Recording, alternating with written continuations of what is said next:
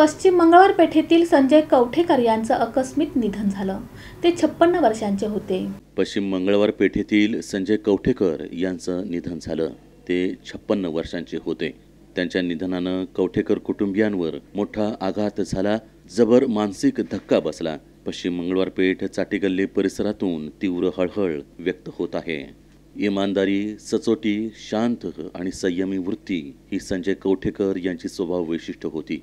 परिस्थितीशी संघर्ष करताना ते कधीच डगमगले नाहीत. खंबीर मनानं त्यांनी मुकाबला केला परंतु नियतीच्या निष्ठुरतेमुळं संजय कवठेकर यांचं आकस्मिकरित्या निधन झालं.